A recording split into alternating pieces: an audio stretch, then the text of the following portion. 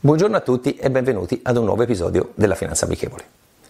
Ricollegandomi all'ultimo argomento trattato, le azioni, oggi faremo un'introduzione generale per quanto riguarda i, maggiori, i maggiori indici borsistici e le principali società quotate come capitalizzazione.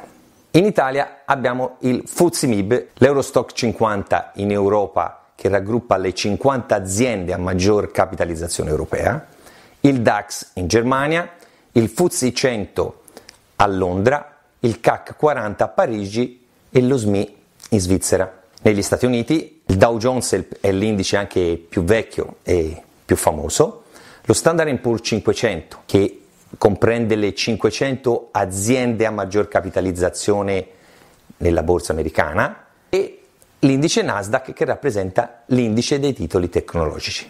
In Giappone abbiamo il Nikkei, Shanghai in Cina, e l'Hang Seng a Hong Kong, quantomeno per avere un'idea dei principali indici mondiali.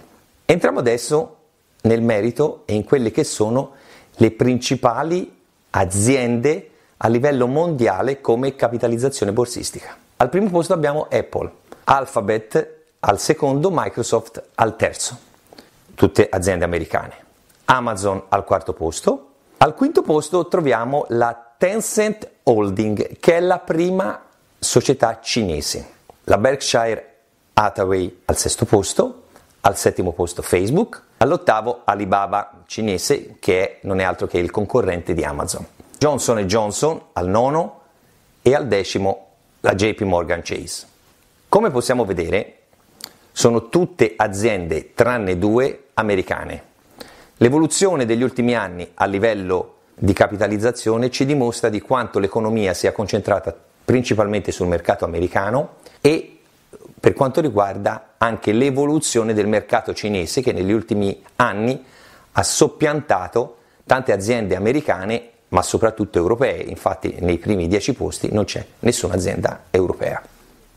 La citazione di oggi, per rimanere in tema borsistico, è la seguente.